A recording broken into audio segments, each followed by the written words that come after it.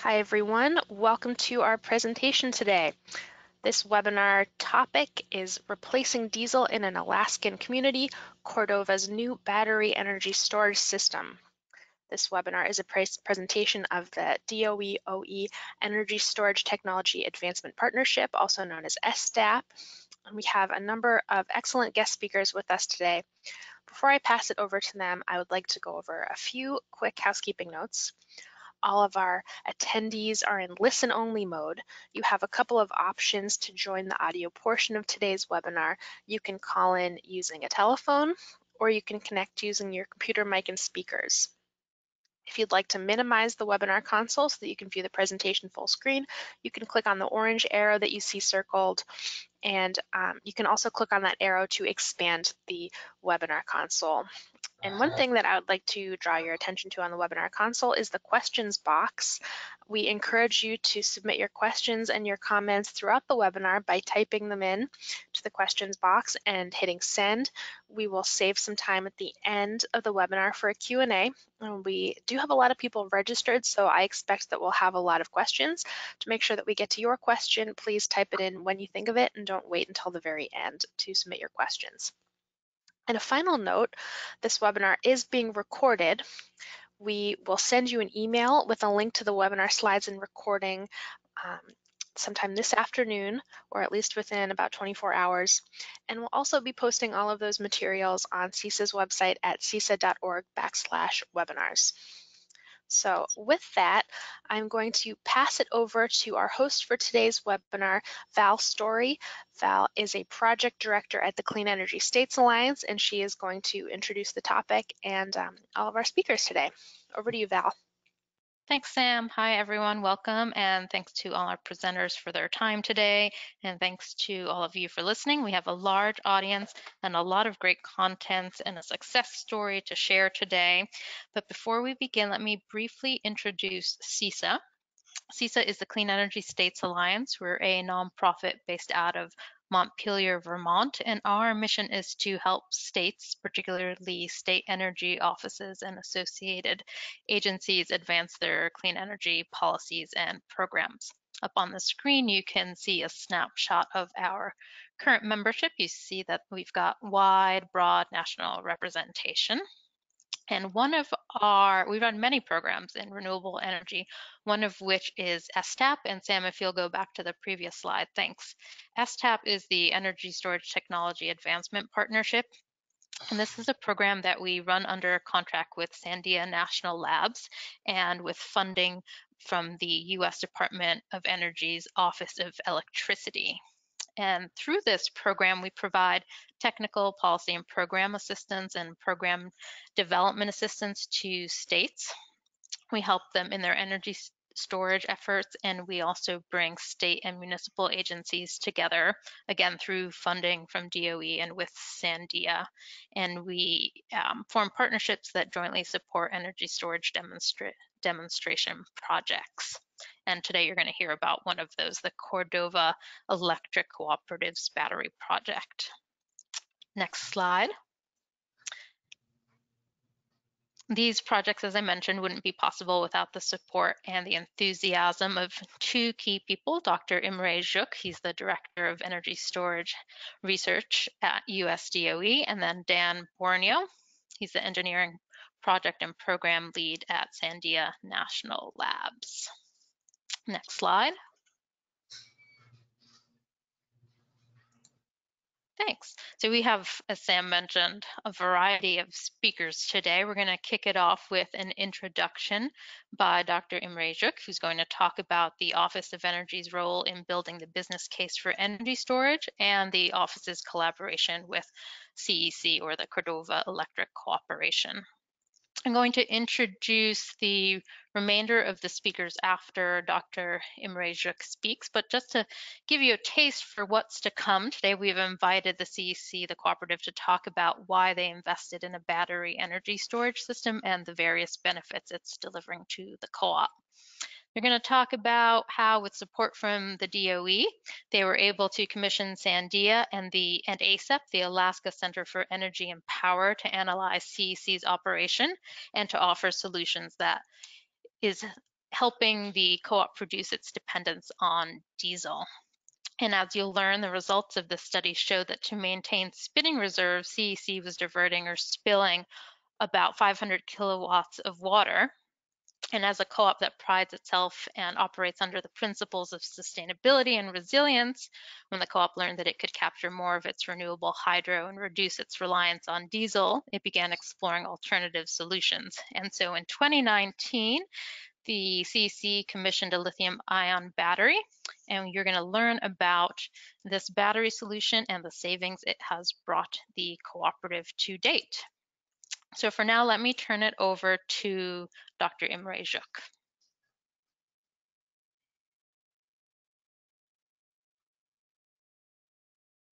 Will you, there we are. Well, hello there. Uh, I'm Imre Gyuk. I direct the energy storage research at the Department of Energy in the Office of Electricity. And our program supports grid scale energy storage. And in particular, for resilience, stability, and a greener grid.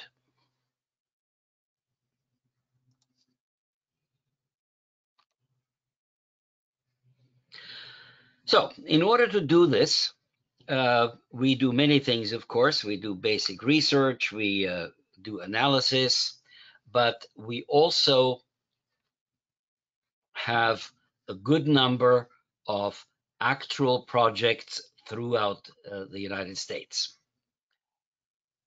It's not just a question of putting up projects, but it's a question of building business cases of projects that involve energy storage. The cost and the benefit has to balance. And we have projects in energy storage that link with renewable energy of wind, water, and sun. And here's an example of one of our uh, more successful projects.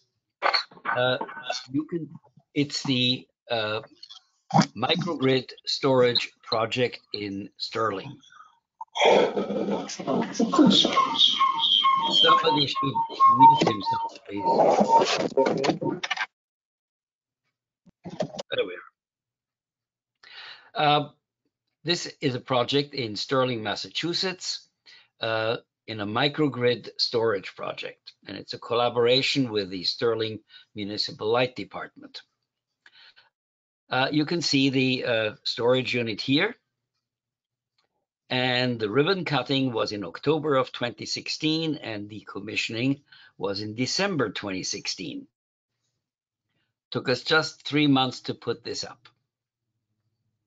So what does it do? Well, there is something called uh, demand charges. When you get electricity from your supplier, you pay not only for the total amount, but you pay for the peaks, these peaks there. And it takes the biggest of the monthly peaks, and that's what you get charged for. Well, when you have storage, you can throw in your storage at the peak, it reduces the peak, and then your demand charges are much lower. So this worked very well. Uh, there are yearly demand charges and monthly demand charges. And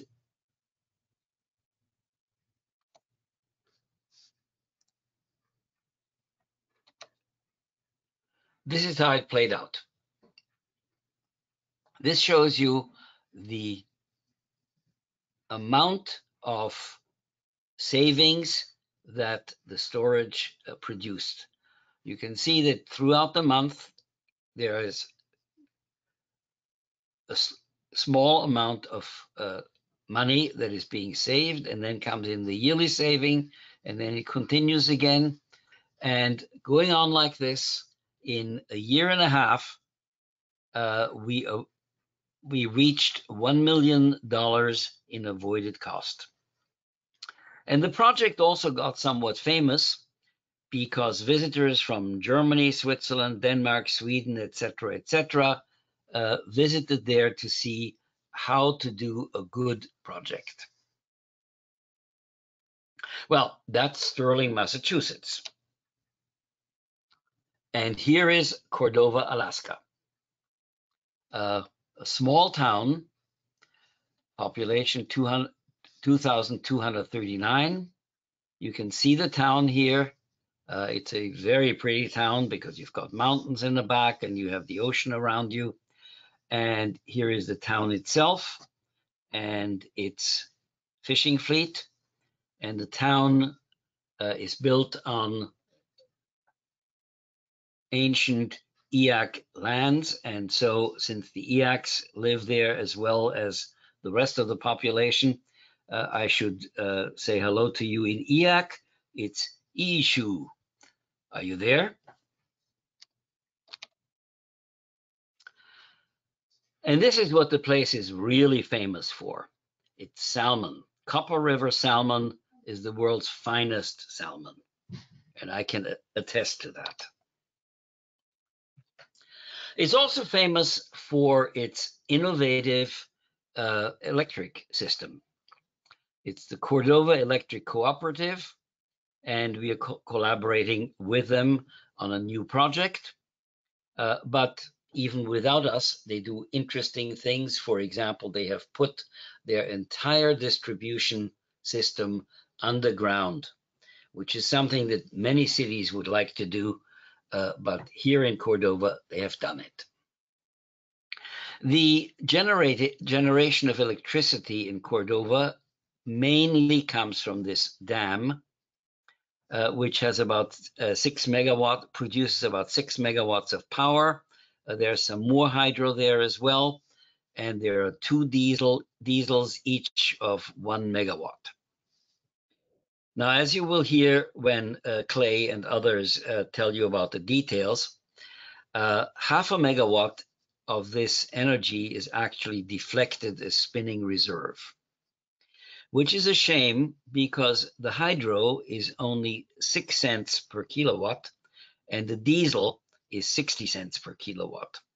That's because this community is entirely isolated and you can only reach it by sea or air. There are no roads. So bringing diesel there is, is expensive. So the solution for this was to build uh, a facility to store energy.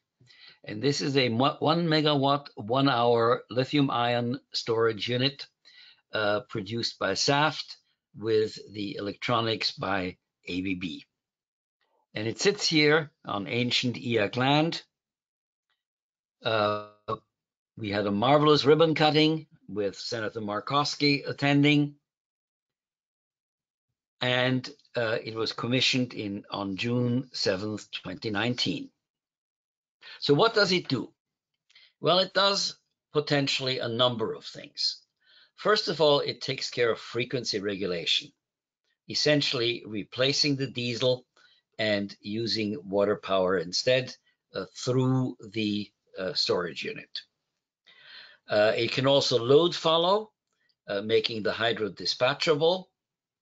Uh, it can act as an emergency supply uh, if any glitches happen to the system. The storage can provide a fair amount of power, at least for mission critical functions. And then there are other things that are still being explored. For example, you can use it to arbitrage the diesels so that you can run the diesels in the most effective way.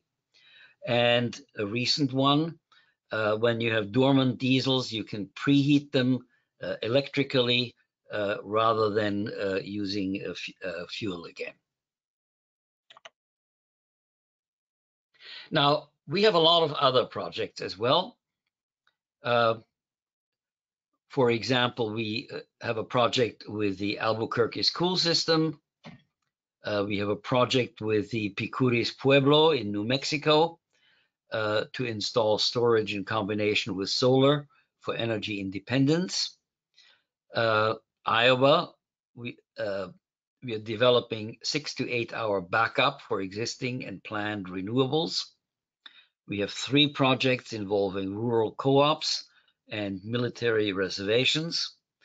Uh, we have a project in Alaska, way over where the Aleutian Islands are starting, in Levelock Village, uh, to provide technical assistance in, in establishing an energy storage microgrid.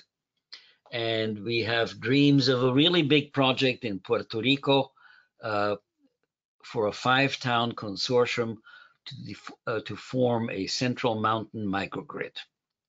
And that one will be big. It'll be 250 megawatts solar and hydro. So many applications, many different places, and uh, we are working out the benefit structures and the uh, best procedure to bring about energy storage. So in conclusion, energy storage should be in the toolbox of every utility, just as it is here in Cordova. Thank you. Thank you, Dr. Gyuk. Thanks for providing us with a national overview of the energy energy storage projects you're working on and for setting the stage for this following presentation. So to that end, let me continue with some brief bios before the Cordova team dives into their presentations. And also let me remind folks that we're hosting a Q&A session at the end of all the presentations, but please do, we highly encourage you to type your questions into the question box now, and then I'll be collating them and asking them of all the panelists at the end of all the presentations. So moving on to the Cordova slides, we have three presenters for you from the Cordova Electric, Electric Cooperative. The first speaker will be Scott Newlun. He was the manager of the Yakutat, I hope I've pronounced that right, the Yakutat Power for 18 years, and he's now the manager of generation and distribution for CEC. And then following Scott, I believe we're going to be having Clay Koplin speak. Clay is the Chief Executive Executive Officer at Cordova Electric Cooperative, and he also serves on the Federal Advisory Committee of the U.S. Department of Energy's Office of Electricity. And fun side note, he is also the mayor of Cordova. And then we're following Clay's presentation with Nate Cain. He is CEC's production foreman, and he has 15 years of power production maintenance and operation experience. And he has an associate's degree in process technology from the University of Alaska Fairbanks. So these are your panelists. I will let Scott, I will let you take it away.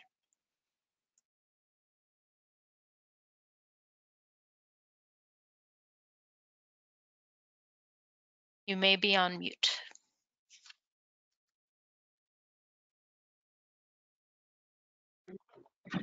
There we go. We can.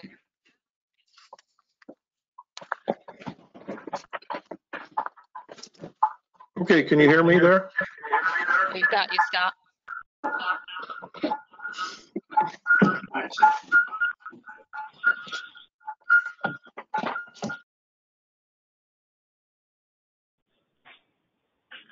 Let's try this. Is this a little better?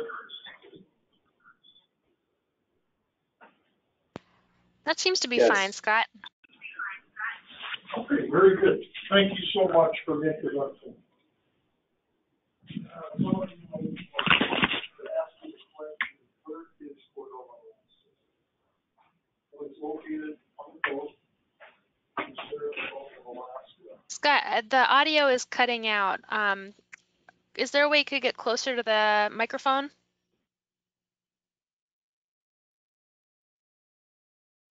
I'm sorry about that. Can you try, is this any better? That's a lot better. Okay, very good. Okay, I was starting out going to tell you where Cordova, Alaska is located. For those of you that aren't familiar with it, Emery did a fantastic job of explaining it. I'll try to carry on from there a little bit. Uh, we're located on the coast of Alaska in the center of the Gulf, northern center. And it's just south of, or I guess you would say, west of Anchorage, a little bit down the coast. It's on the west edge of the Prince William Sound. We are isolated from all other communities and accessible by water or air. There's no roads in or out.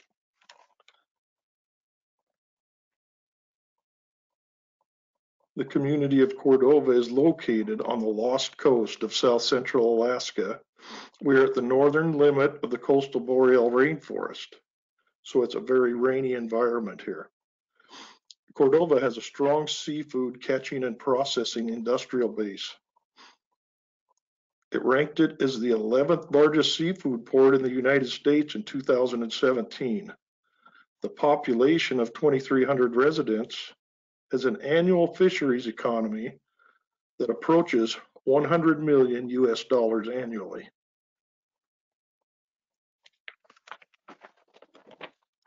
So that's a little bit of a background of what, what we are as a community and what we are servicing as a utility. Our hydro projects are run of the river projects, so there's no storage behind them per se. The energy supply is highly variable depending upon the seasonal and daily weather fluctuations. The energy demand is also highly variable with fishery seasons and daily catch volumes. This dynamic load and hydro supply makes the grid very expensive and challenging to manage. Some of you are aware, there are many challenges to running an isolated islanded grid. For instance, there is no grid support to fall back on when we have any issues. If the power goes off, it's off until we make repairs. We don't have any incoming power to fall back on.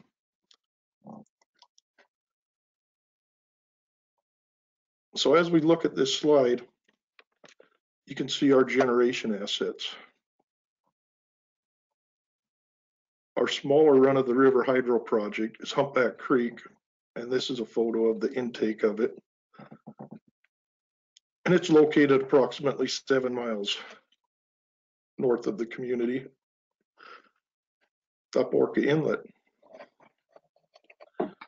Our other hydro project is located on the other side of a hill or a mountain, and it's called Power Creek Hydro Project. It has a little over six megawatts of pro- project uh, generation capacity. And that's the bread and butter of our system. So that's where most of our generation comes from. When we can produce it from the the flow of the river that comes through there. And then we have towards the center of town, it's a little bit outside of the town still proper. And it's right in this area. That's where we have our diesel plant. At our Orca diesel plant, we have 10.8 megawatts of diesel. That should carry our peak load when we need it if something happens to all of our hydro projects. We're constantly trying to bridge this together and with the addition of our battery energy storage system, the BESS, it makes it a lot more lucrative to do that.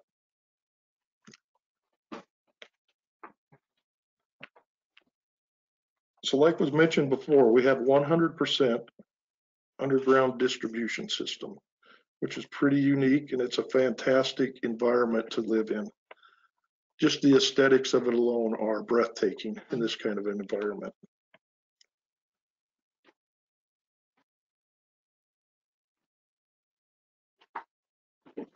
As we get back to our hydro project, we spill three to four gigawatt hours of hydro per year. So there's times when our rivers run more than we can produce with or our loads will handle. This happens during the peak demands and usually on the shoulder seasons before the processing and after the processing. We supplement our hydro with our diesel when we don't have enough capacity to cover the whole processing load. We try to gauge our hydro production sometimes on a percentage of hydro. So as we look at our hydro, it's really hard to disseminate because sometimes a bad fishing season, we don't need as much load. Less demand makes the percentage go up, but we always strive for seventy percent and above on hydro. One of our goals is to displace as much diesel as possible. Said before, we don't have any storage behind our hydro. Well, that's not completely true. We do have a form of storage. And in the mountains, it's snow, snowpack from the, the winter snow season. So if we have a big snow year, we have more storage. And our large Power Creek hydro plant is also backed by glacier runoff. So one of the phenomena we saw was when we had a hot summer, we had more glacier runoff than we were really expecting. Which is bittersweet because we know that that's taking our storage away faster than we really want it to. So with that said, we do have plenty of rain here, as was mentioned before. But sometimes too much rain is just as bad as not enough for us because when we start getting floods and high water and it starts affecting our intakes on our hydro projects, sometimes we have to shut them down. Sometimes a lot of debris comes down the river with it and we have to drop our inflatable dam, let things pass through. So that's always an issue when we have too much rain. Floods will cause issues for us. And we have to use diesel when those events happen. We're always researching more opportunities for more hydro, et cetera. Hydro and renewables, anything to replace the diesel that we use. We're constantly striving to improve the system and lower our diesel consumption. The slide that's up right now shows the uh, average load for a year. And it represents some pretty interesting things. 2012, actually. Like was mentioned before, when we run, before we had the BESS system, we would run our hydros with a spinning reserve of 500 kilowatts, sometimes up to 750 kilowatts of excess water. So we would have to divert that much water in order to pick up the load swings from our processing plants and et cetera. With our big load swings, we had to have that much reserve, spinning reserve to catch the system. So that's represented in the yellow or the orange band there. You can see how often that is during our peak season. And then we had to pick it up with diesel and you can see the diesels coming off and on with the black underneath, which is a little bit disheartening because we have plenty of hydro to generate everything we can. We just don't have the capacity to do that with that spinning reserve in place. So from that scheme, we are always striving to displace that diesel use as much as possible. Diesel is very expensive, like was mentioned, 60 cents a kilowatt hour versus 6 cents for hydro.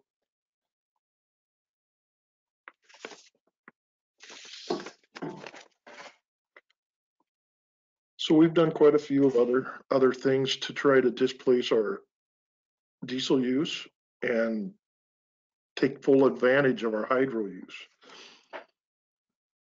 we look at all kinds of different technologies to utilize all the hydro that we can and displace all of the diesel that we can when we can. So we're constantly striving for that, looking at feasibilities and other sources of generation.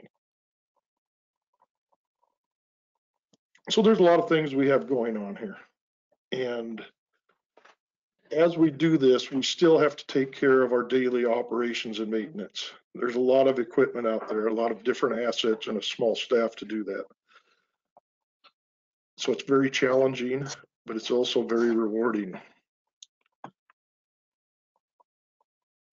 And with that, I think I'll pass it on to Clay to follow up on the next portion of this project or of our presentation. And Clay is the CEO of Cordova Electric Cooperative.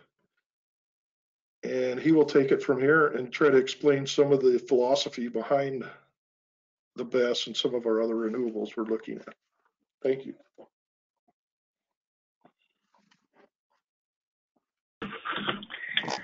Okay, thank you, Scott. Um, here we have just another glimpse of um, our Power Creek intake with water going to waste there.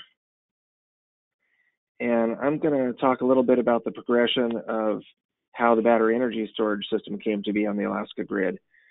So the Department of Energy has recognized that grid modernization and uh, new technologies and the new grid architecture where people and businesses are self-generating and we have the advent of more uh, renewables that are more intermittent, such as wind and solar, that's creating all kinds of new challenges uh, for the grids of every size.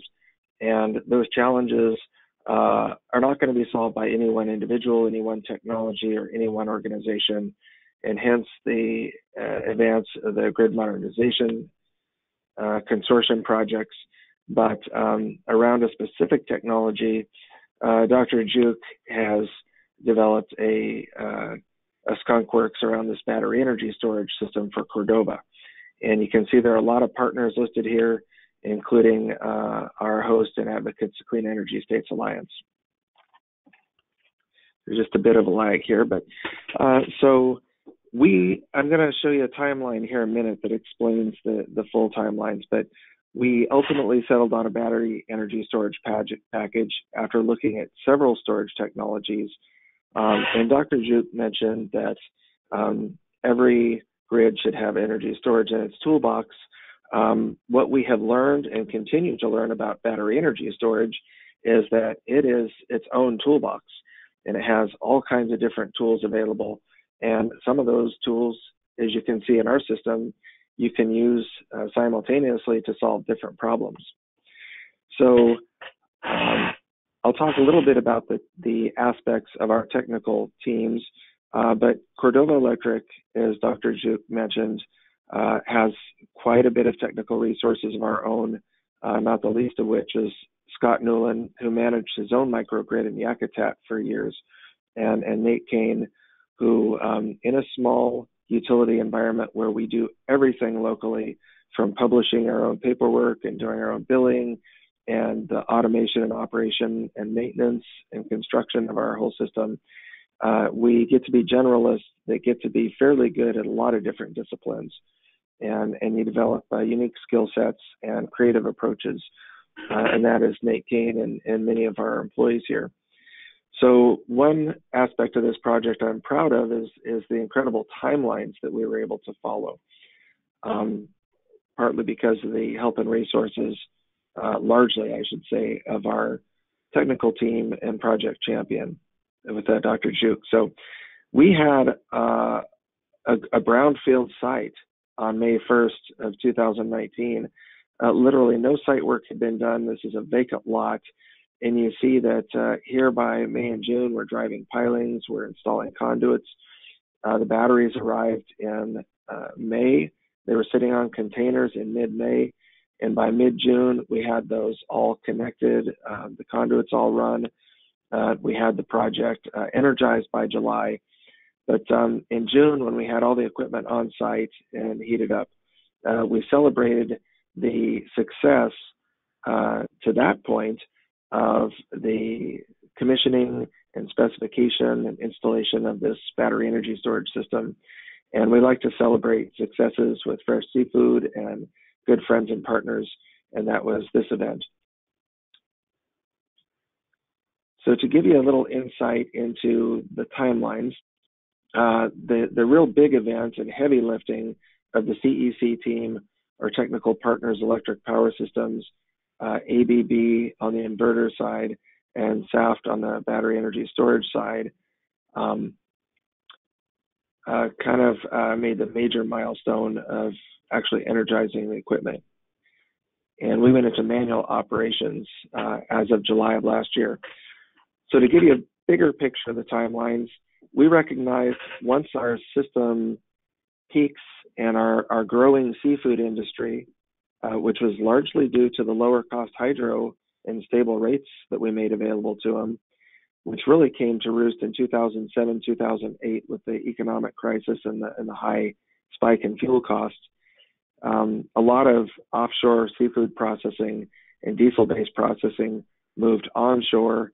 Tens of millions of dollars of seafood plant investments grew the capacity and the demand on the CEC renewable system. And our four megawatt peak jumped to a nine megawatt peak in two or three short years. And fortunately, we had seven megawatts of hydro, but it pushed us into a situation where we had no more spinning reserve. We had to start supplementing with diesel. And we realized we had a new problem that we called the Valley of Death, that we switched back and forth between diesel and hydro. We we're wasting hundreds of kilowatts of hydro capacity. So as we grew a partnership with the Alaska Center for Energy and Power, and they recognized that we stored one second resolution data in our whole system and that we had a highly automated system, they realized that the Department of Energy had the technical resources and expertise to help marry us to an energy storage technology that could solve our problem and improve the economics and environmental performance of our microgrid. So they approached Dr. Gyuk in 2015, 2016. He looked at uh, Cordova, and Cordova Electric, and the data, and realized it was a great opportunity to um, look at energy storage in general, select and right size and right located technology to get the best economic and technical performance, and just as importantly, measure that performance against um, advertised lives and advertised performance and really drill into these new technologies. So Sandia National Labs performed that analysis along with Alaska Center for Energy and Power, and they did right size and indicate a lithium ion technology for us. And phase two of that project was working with Sandia National Labs. We pulled in the additional partner of the National Rural Electric Cooperative Association to help disseminate this data on the back ends to almost a thousand electric cooperatives across the country and around the world, and also take advantage of using their procurement template and then sharing our procurement template back to them for future use. So we specified and did order a battery energy storage system from Saft and ABB in 2018. And we selected those technologies because they've both been in business for 100 years. We knew that they had the technical resources to push their technology from arbitrage and less technically robust solutions to uh, a complex challenge like managing a whole microgrid spinning reserve plus arbitrage plus emergency energy storage, plus many of those blades in the Swiss Army knife that can bring value not only to a remote microgrid in Alaska, but to every grid in the world, really. So I mentioned these timelines, May on-site, June installation, July commissioning and operation. Then we operated the system manually for several months until we got into the really exciting phase where with electric power systems, and constant support and engagement with Sandia Labs and uh, and a little later in the process, Pacific Northwest National Labs. We went into fully automated operation. We saw a storm, rainstorm coming. Uh, we realized we had an opportunity, and Nate pulled the trigger and put put the BESS in fully operational mode, and we achieved some amazing savings that Nate's going to talk about. Later, uh, we crushed all previous records. We were 94% hydro in a month that we're usually 50 or 60% hydro in November, 86% hydro in December when we're generally 30% hydro. And then uh, with a very cold, dry winter, uh, the BESS was largely out of operation until April. But then uh, just two short weeks ago, we were able to go 100% hydro a full three weeks earlier than normal.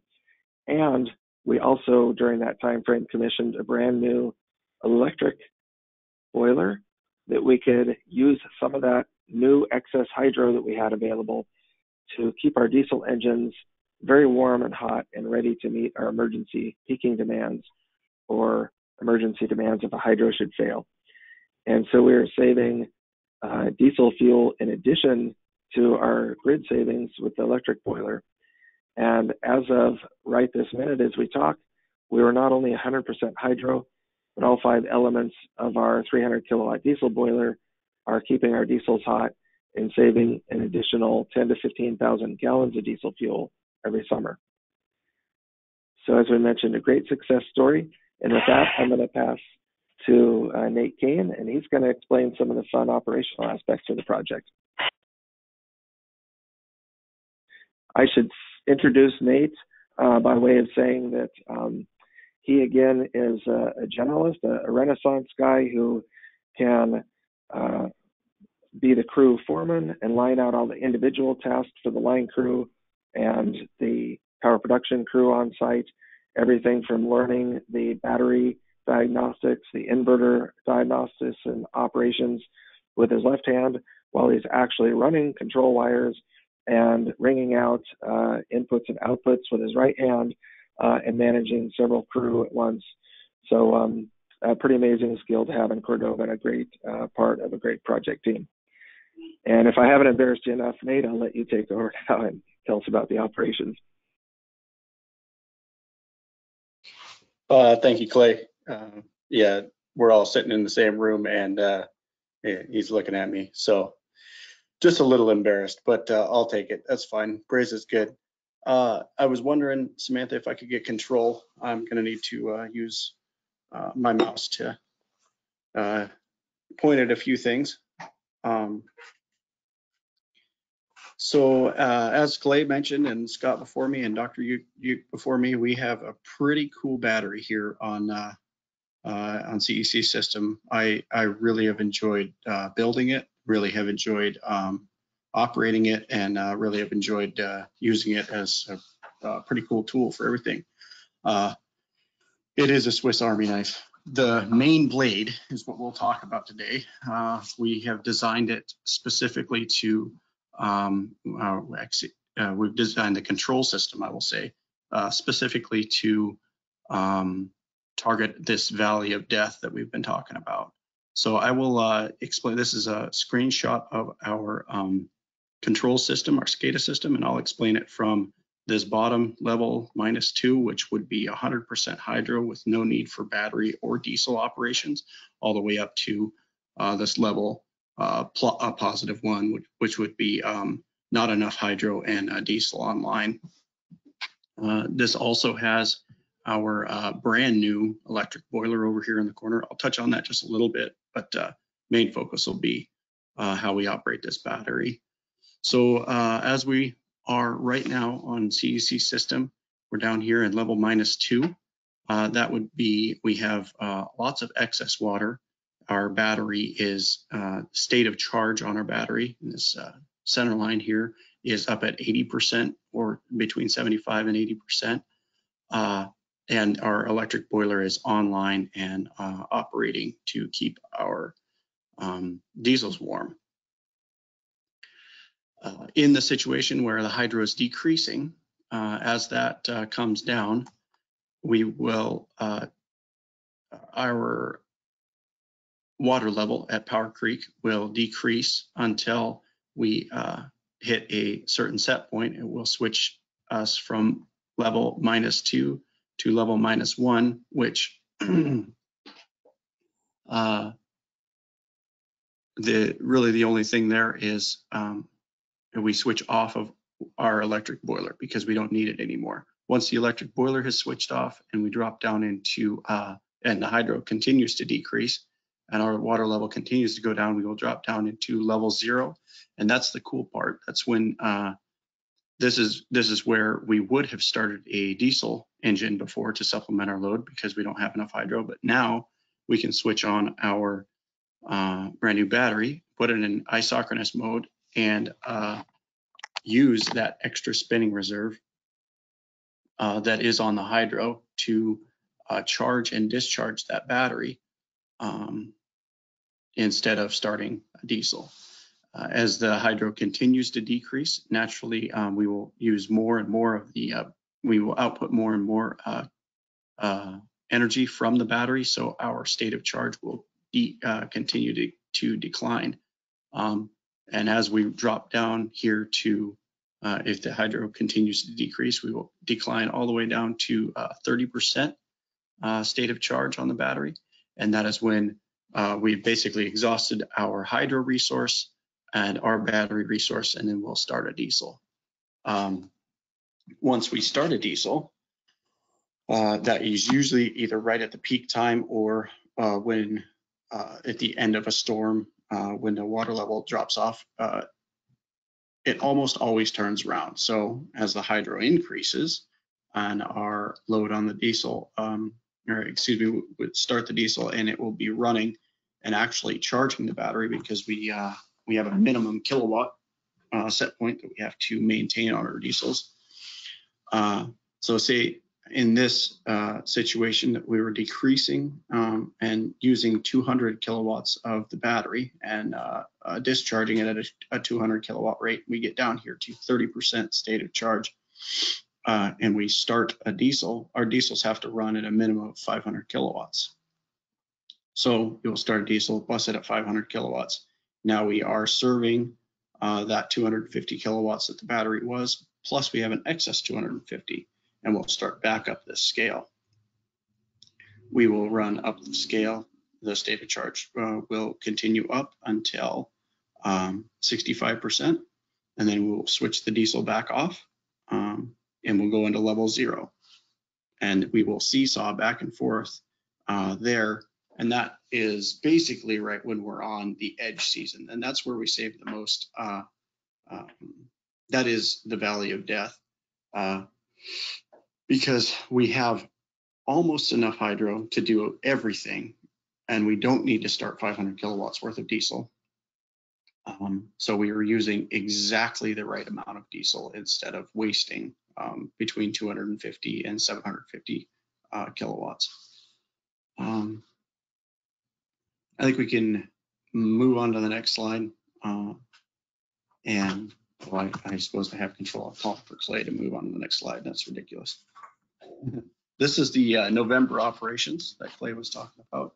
And this is um, this is the, our landmark when we uh, uh, started, uh, decided to put it in uh, full operation, full automatic operation. So you can see um, this is a trend of uh, all of the pertinent um, statistics on the battery. I'll go through them.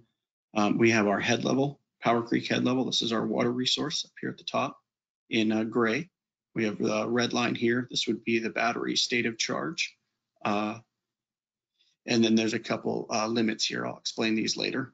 Uh, and then we have in blue, we have the kilowatt output, the actual kilowatt output of the battery. Then down here at the bottom, this is the diesel uh, in green, the diesel output. And it's our specific generator number five, but this is the one that was on uh, over Thanksgiving. So as we uh, come off of hydro, this would be uh, uh the same example that I gave uh, earlier. This would be a hydro decreasing.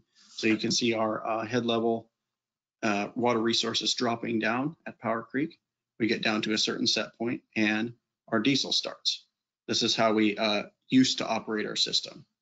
So this was uh, about seven in the morning, and uh, I watched it till about noon, and decided, well, uh, we are confident enough in our automation and confident enough in uh, done enough testing. So I uh, turned the battery into auto right here, and this is right around um, 11:30. As you can see, when we went into auto, uh, the battery started outputting kilowatts. It started dropping in state of charge because we shut the diesel off. Uh, so we were running right here. Um, you can see the scale over on the side. We were running right about 500 kilowatts of diesel, um, and we had almost that much in hydro. So when we switched off, notice we were running 500 kilowatts of diesel. We uh, switched the battery into ISOC and used all of the excess hydro, and we were only using maybe 100 kilowatts or 50 kilowatts off the battery. So that's a, a good example of uh, using our full water resource. Uh, over the course of that day, this is uh, this time scale here is about about two days, about 48 hours, one day and 22 hours. Uh, over the course of that day, our water re- resource declined, and you can see that the uh, battery responded to that and continued and started outputting more and more kilowatt uh, resource, and the state of charge dropped down. We didn't get all the way down to our minimum state of charge, which is the uh, let me hide a control panel here. Minimum state of charge would be this uh, red line down at the bottom, and this would be our this is our maximum state of charge, and this is the state of charge that we are controlling off of in level one to zero. We drop down, this would be a good example of a peak load. So this would be over the afternoon, uh, drop the uh, state of charge down to about 50 or 60%. And then this is a good example of the evening load swing.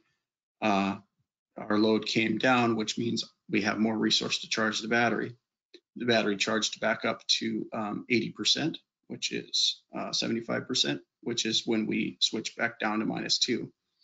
Um, and it ran there all night.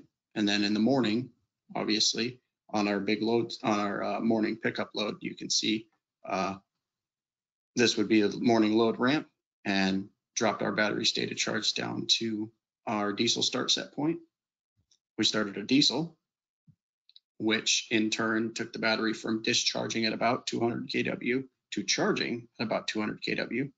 We ran the diesel at 500 kilowatts for as long as it took to charge our battery up to um, our uh, step down set point, and we stepped back down to step zero, and we cycled like that for this is about uh, a half a day, uh, the afternoon, and then um, on the load ramp down in the evening.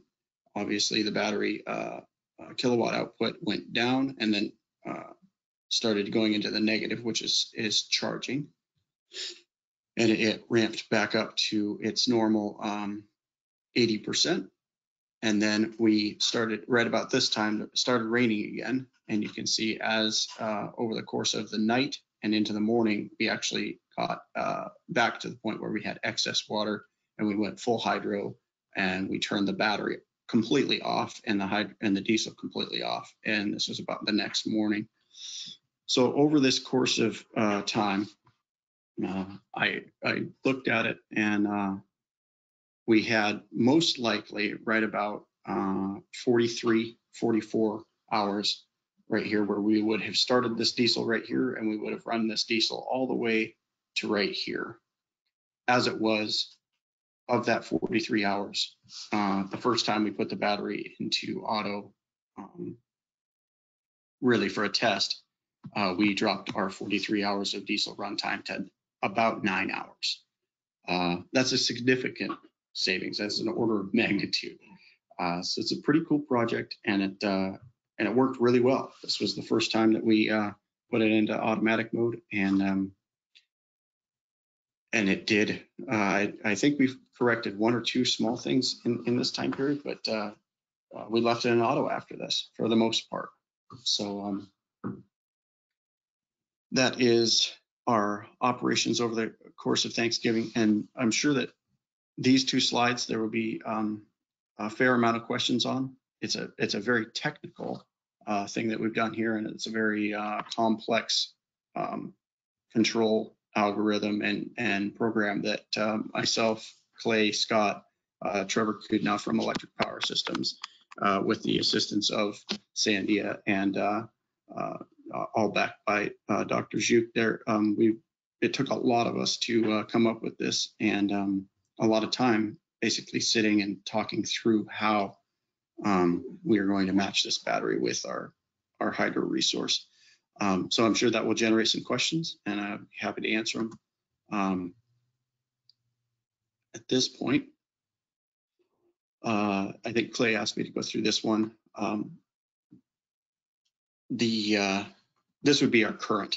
Um, uh, this is a, a slide of our current uh, kilowatt hour metering off the battery and then also our battery savings. So basically what I did, uh, uh, after we had it running and uh, kind of into the uh, end of the year, I uh,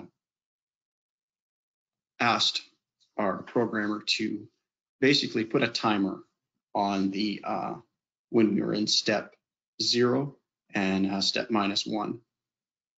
Um, because that is a, uh, that is the representation of when we are in the valley of death and when the battery is actually saving us the money. So this is um, this is year to date of 2020.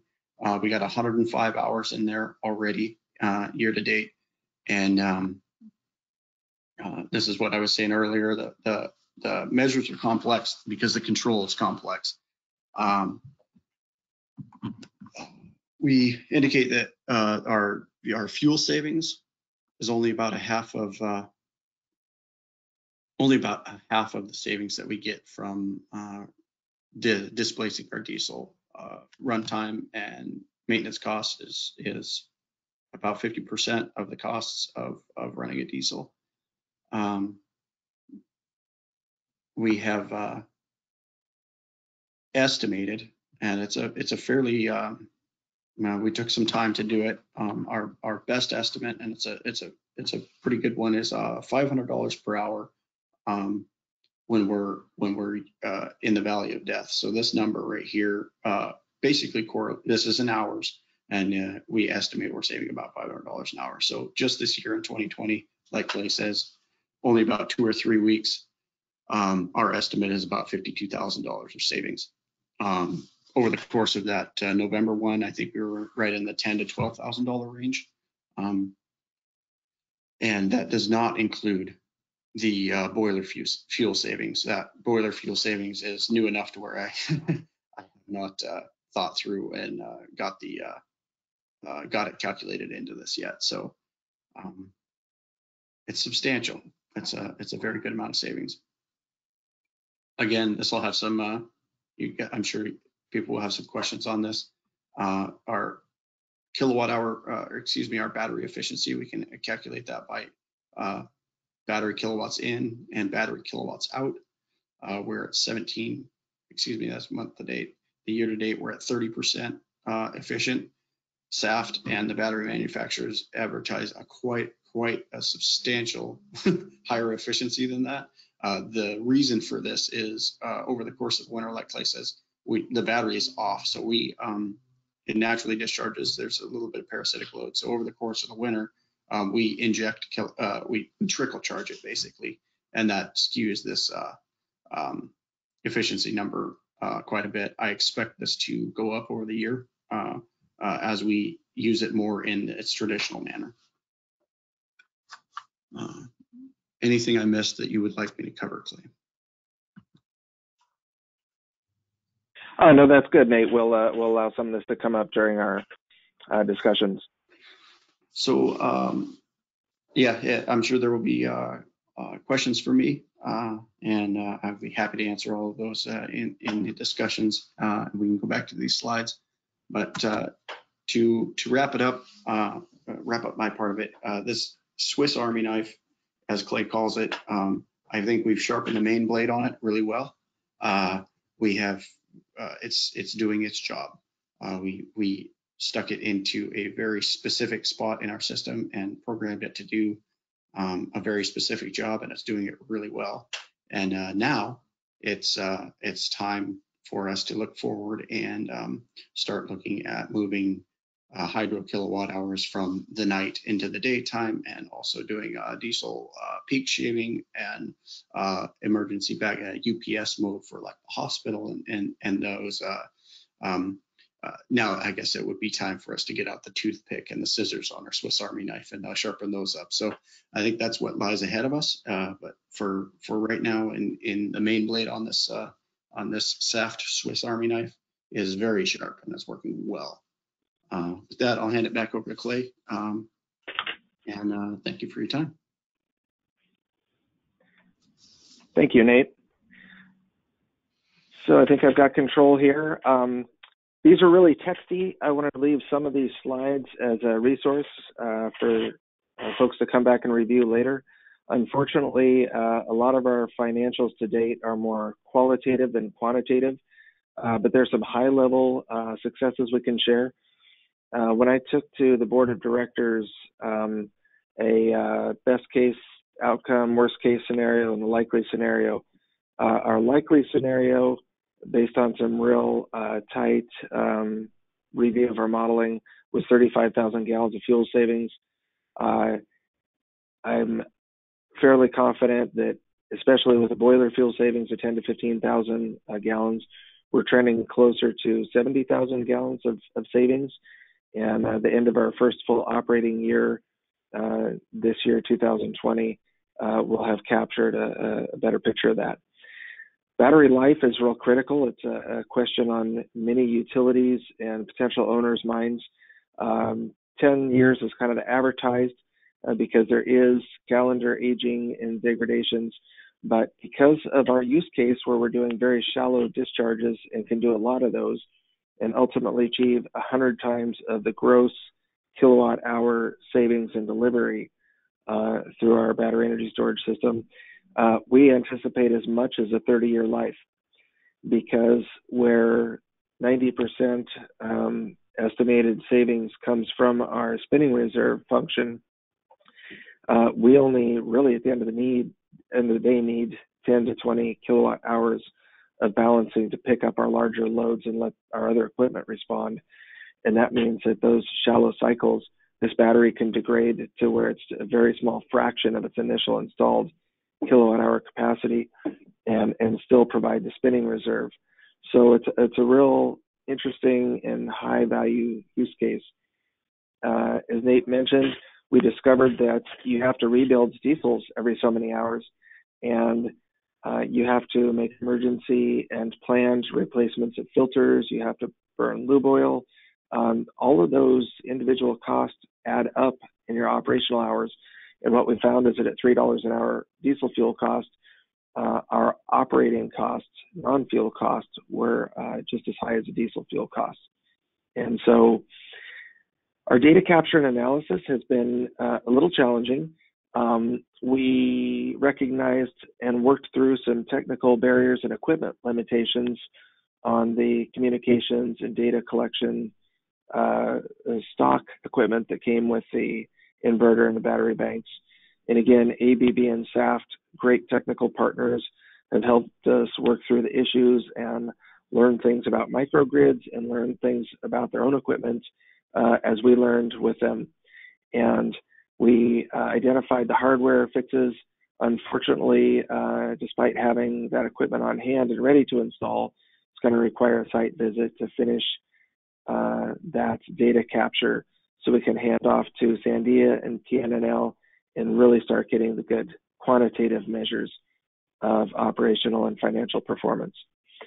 And uh, Pacific Northwest National Labs is is currently working with our Alaska Center for Energy and Power on some of the extended value streams like emergency backup generation, some of the regulatory barriers there, um, and some of the other use cases, refinements, and optimizations.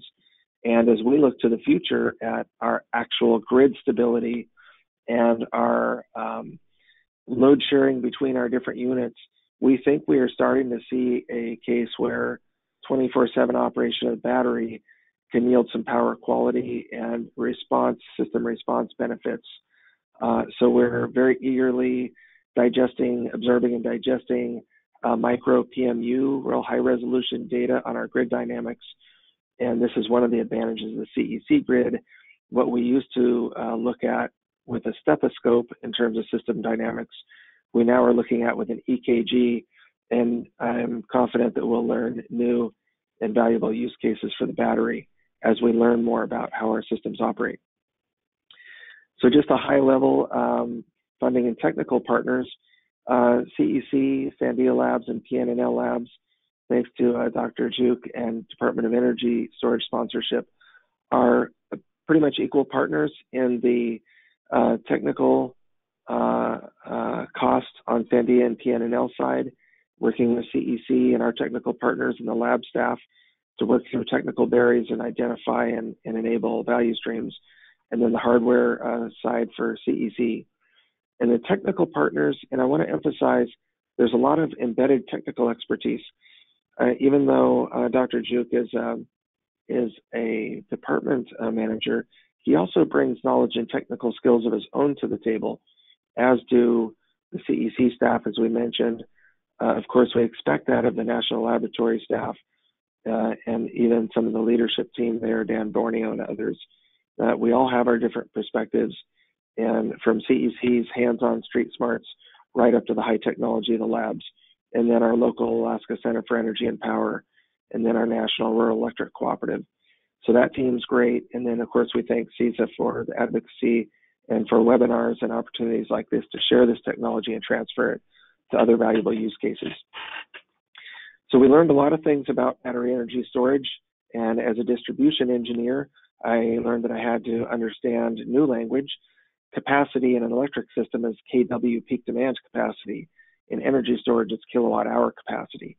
And these batteries lose capacity every year from calendar aging.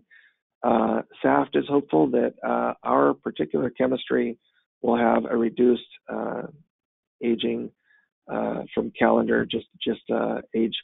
And then, uh, as I mentioned, capacity loss is in kilowatt hours. It's not in kW peak. Um, fortunately, you maintain most of your DC efficiency over battery life. Uh, these are all things that we'll be able to measure and uh, verify as we get access to and, and uh, analyze the uh, data in our battery. So, as I mentioned, deep cycling causes rapid loss of life, uh, whereas shallow cycling uh, can increase the throughput to tens of millions of cycles rather than thousands. When you do the math, that means you can get up to 500 gigawatt hours of total throughput uh, in a system balancing case instead of 5 gigawatt hours in a purely arbitrage. However, as Jim McDowell of SAFT said, why would you leave the arbitrage savings off the table uh, when you can have both? And in our case, we get to do both simultaneously. As Nate mentioned, we are actually discharging the battery while it's balancing system loads. So we get to use more than one blade of that Swiss Army knife at the same time. So uh, big question for a lot of utilities. We estimate that 60% of our uh, initial package cost of hardware uh, will be required to replace and recycle, but recognize that the chemistries and the technology is improving. It's a modular system. We can change it out a cell at a time uh, as we choose, or in our case, just actually let it degrade and still appreciate the primary uh, grid balancing value from it. And then we found that delivery times were, as I mentioned, we ordered in October and we had it on the ground in Cordova, uh, shipped by uh, trains, planes, and automobiles and boats to, to Cordova uh, by May. Uh, factory warranties are very risky, both for the vendor because it depends on how the customer uses it, and for the customer who's relying on the safety and performance from the manufacturer. So it's something that has to be approached uh, carefully, and uh, and and we did, and we structured it so that um, the maintenance and warranty uh, are somewhat optional going forward, and we've split the maintenance so that our staff are trained to do the the semi-annual, and the factory staff then come in to do the annual, and that was a good way to uh, kind of share costs and risks and skills. The key takeaways, control algorithms, uh, integrating into a microgrid, very complex. It's why we uh, iterated from manual operations and learning the system, as Nate uh, suggested, right up through fully automated. It's a process and not an event. Um, we have recognized considerable improvements in use case and optimization just in the limited operation that we've had in the last few months. And uh, we do expect to continue to identify new valuable uh, value streams. Uh, as we carefully monitor and evaluate the data and and apply successive optimizations in the future. And I mentioned already that we are smashing hydro records in the winter, and now we're starting our hydro season earlier. And also appreciating the battery, uh, the uh, boiler savings. And uh, that's a wrap for us. And we'd be glad to turn it back over to our host and entertain questions. Thank you very much for uh, participating. Great. Thanks so much, Clay, and everyone for the presentations. We can now move into the Q&A, but before we do that, let me echo actually a lot of the comments that came in. Um, congratulations, job well done. It's very exciting to hear about this project and to hear about your plans moving forward. So thank you for sharing what you've learned so far. All right, it seems like the other burning question, or moving on to the first burning question folks had, everyone must be coming off of a long cold winter, is what about the batteries in the winter? How do they handle the cold? And is there anything you need to do about it? Well, that's a good question. And I'm going to look at an adjacent technology uh, because we've learned something here in coastal Alaska, I think and and realize that we're in a very uh, temperate zone. We sit right on the Pacific Ocean. Our uh, climate here in Cordova is probably actually closer to Seattle's climate than Anchorage's. Uh, it's uncommon for us to drop below 10 degrees Fahrenheit in the winter. Very uncommon for us to rise above 70 degrees Fahrenheit in the uh, summer. And so, what they learned in Juneau with the Nissan Leaf electric vehicles is that uh, we are what is called the Goldilocks climate for lithium ion uh, technologies. We're not too hot and we're not too cold. And they have Nissan Leafs uh, on the road in Juneau that have over 70,000 miles on them and still have all 12 bars of battery life. So battery life is going to be an interesting one to watch in our application. And, and we think uh, we might uh, learn some uh, very welcome surprises about battery life in our climate. Thank you. Sounds like a terrific place to visit. All right, so um, let's move on. I failed to mention that joining us for the Q&A portion of this webinar, we have Dan Borneo from Sandia on the line, so he's available to answer questions as well. And we also have Todd Olinsky-Paul, Project Director at CESA, working on energy storage on the line as well. Let me put out um, actually a question for both the teams, both the DOE Sandia team and then the Cordova team. What other technology solutions were considered in the ACEP Sandia analysis? And then for you, Cordova, what uh, storage systems did you consider?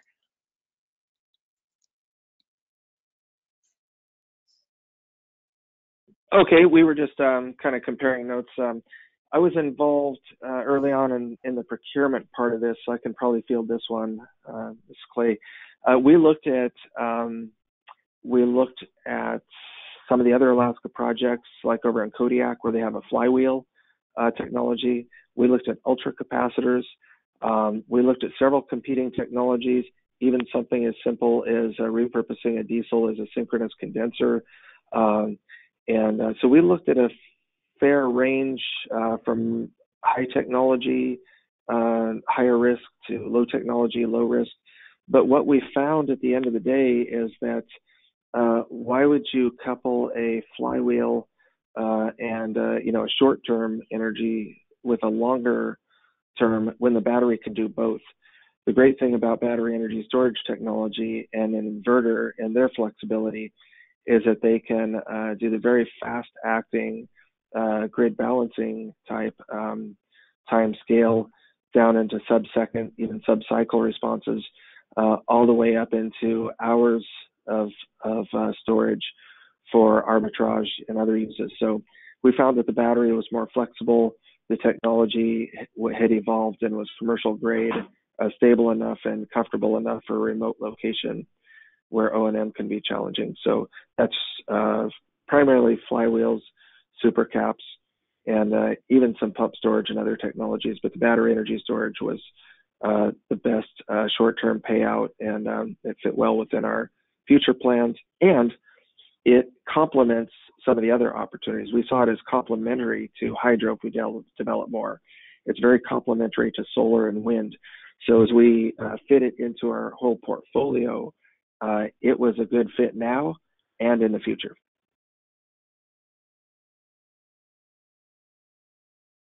Okay, great. All right, let's dive into some of the details. We've had a couple of questions about battery life and also the state of charge, why that's between 30 to 70% and not all the way up to 100%.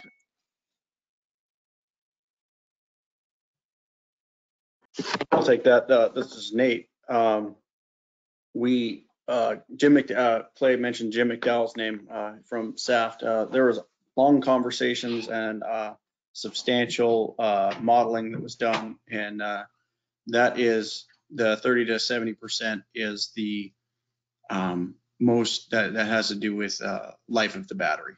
Uh, that is the easiest on the, uh, lithium ion cells. And also, um, our 30 to 70% um, gives us a buffer zone, a dead band on either side. So either we can overshoot or we can um, we can undershoot. We can get into some situations where we have reserve, basically. Uh, I, if you're at 100% capacity and you need to charge the battery some more, um, well, you're you can't. And if you're at uh, zero percent, uh, the the bottom is is um, the the part where it actually hurts the battery pretty bad. Uh, they don't they don't recommend char- uh, discharging to zero percent state of charge, um, really on any lithium ion system. Uh, so I, the the the critical zone is 10 percent, uh, and the the happy zone is 30 to 80. Um, uh, I do believe they said uh, we could go 20 to 90, so we cut ours down just a little bit more in hopes to uh, um, save battery life and be well within the green zone. And also we could, we, we were able to design our whole control system around that and uh, it worked out really well for us. So um, there is no more capacity there and there is more length of time that we could charge and discharge. Uh, but for us, uh, for safety measures and to give us a little bit of reserve and to treat the battery as good as we can, um, we chose our 30 to 80. Terrific, thank you. Um, so staying with battery charging, we have a question here. What is the capacity of your diesel generator or generators and is it run at peak efficiency when you're charging the battery? Or is it just enough to um, meet the load?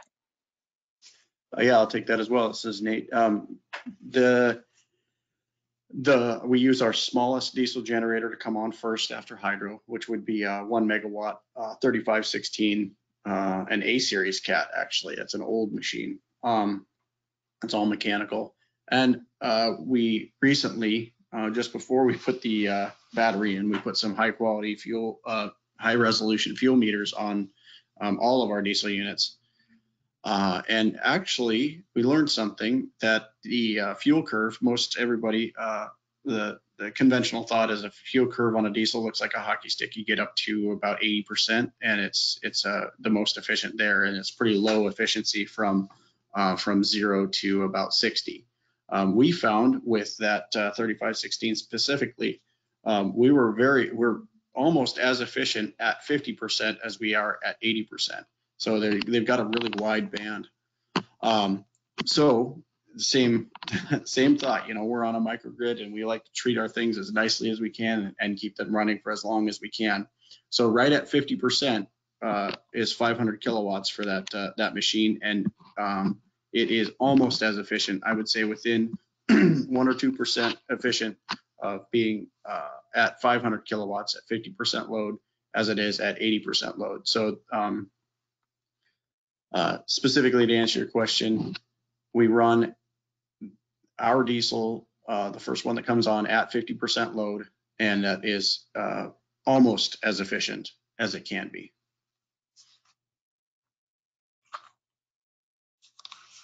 Okay, thank you. In one of your earlier slides, you showed that um, hydro is contributing from 84 to 100%, and you had a couple of jumps from 86 to 94% to 100%. What contributed to that transition?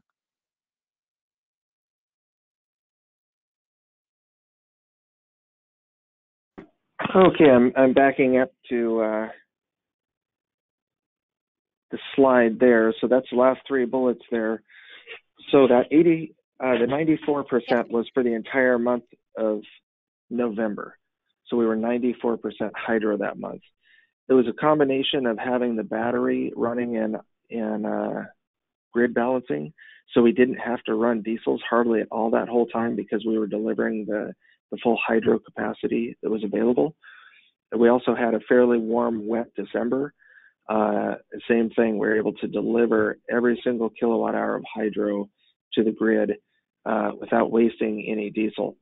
So um, we delivered an extra five to 750 kW of hydropower, and at the same time minimized the diesel use to only what was needed to charge the battery or displace the hydro. So that combination of better weather and the battery had us at 94 and 86. 100% hydro is just the seasonal effect of our run-of-river hydros. Again, we have no dam and no storage. And so I'm going back to the slide here that shows what our seasonal looks like. As the snow started melting, as the temperatures start to warm in April, uh, more and more water is flowing through the rivers, and we start to get into this typical April timeframe where our hydros start producing um, more and more and more energy. Now, typically, as you can see on this graph here, we would have had to wait until we had enough excess hydro here to go 100% hydro and turn the diesels off. But now we have the batteries, uh, and we don't have to have any of this excess available. So here we are back here in April, kind of more in this range, being able to go 100% hydro weeks before we would otherwise be able to.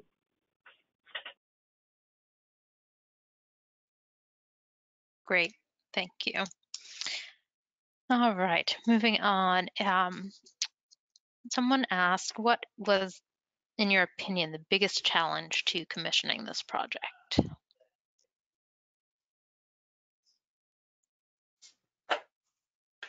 I'll speak first and uh, maybe uh, Scott has uh, an opinion on this as well. Um, uh, I think our biggest challenge was uh, um, communication, I will say, communication between people and communication between equipment. Um, we have a fairly highly automated SCADA system here, and that's a very, very highly automated um, piece of equipment.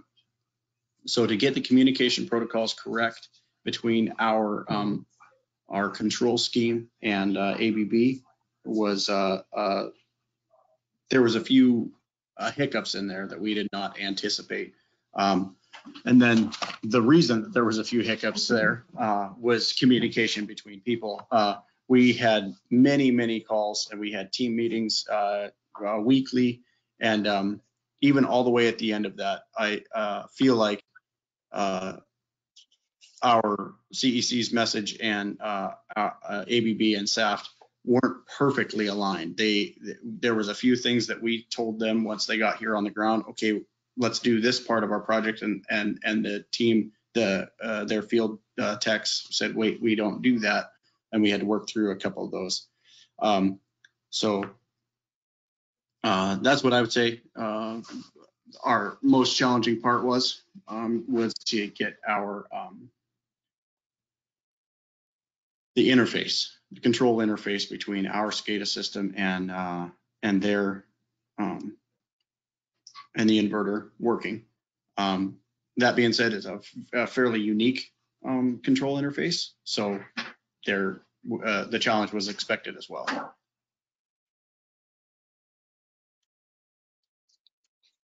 Thanks. Did anyone else want to add to that? Yeah, this is Scott Newlun. I'll add to that a little bit from my perspective. Well, one of the most important challenges or one of the most technical challenges was the communications. The day-to-day construction of this project was another challenge with the limited staff. So you have to take into perspective that we have a staff of three linemen and four generation operation people.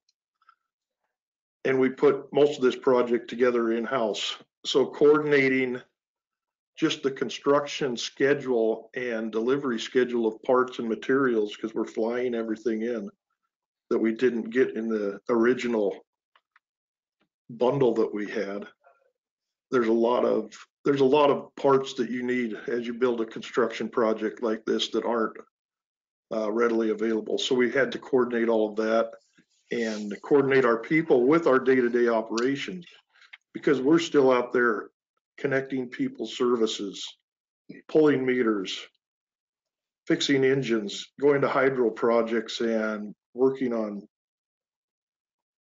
the equipment that breaks down, etc. So that, you know, that's the background issue of it is trying to coordinate a big project like this with limited people.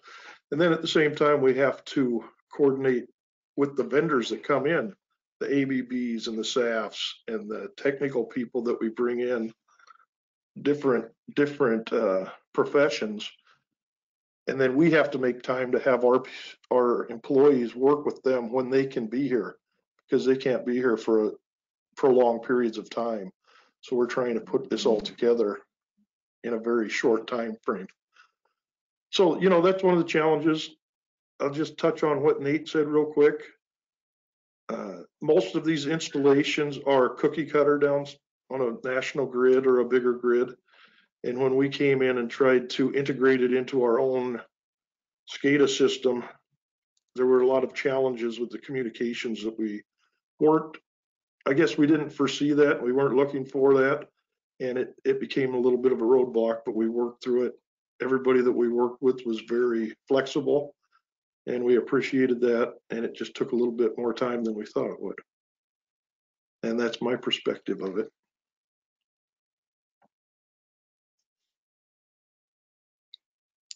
Okay. Also for the Cordova team, I believe, Clay, you mentioned you've gone around and done a lot of outreach and speaking about the Cordova project and trying to espouse the, the benefits of energy storage on microgrid systems. Someone, actually, a couple of folks have asked if your procurement is available as a template or a copy of the specs that you used. Uh, yes, one of the uh, things that's really important um, to the Department of Energy, of course, is technology transfer and, and not just a project, but uh, making a technology available. So uh, we did borrow from uh, Sandia, had some stock templates, um, especially around the data uh, collection that we wanted to characterize the performance. NRECA had some very good stock template procurement from many other cooperatives we took those and we folded in some of our own requirements and concerns, and then uh, we did share those back, um, and and we could certainly reshare those back to both NRECA, uh, the Business and Technology Strategy Group, there BTS they call it, and also to Sandia Labs, and we can certainly make those um, available through Dr. Gyuk to whomever he pleases. So. I think at this time, perhaps Dan, uh, Dan Borneo should say a few things because we have uh, stuff available on our website that he produced. Uh, yes, Imre. So we do, if you go to www.sandia.gov backslash ESS is as in energy storage system you can just search on our RFP and there's a SAND document, Sandia document uh, going over that. And we are, the Sandians are available to uh, provide any answers to any questions you might have in um, doing your procurement documents. And we do this as a standard thing when we have a project. Uh, we help uh, the uh, the people who put the project together in the procurement e efforts as well. Terrific. Great. Thanks for jumping in there, Dan and Imre. All right, so we've reached 3.30 and we can conclude this webinar. I want to thank all the panelists for the great information and once again congratulates Cordova on their successful project. The Clean Energy States Alliance does host regular webinars and you can go on our website to find out about upcoming webinars or they're right up on the screen right now. and if you need to reach any of us, our information, our contact info is on the slide deck as well. Everyone will be receiving a link to this audio file and the slides in the next day or two. That's it, everyone. Thanks for joining and have a great day.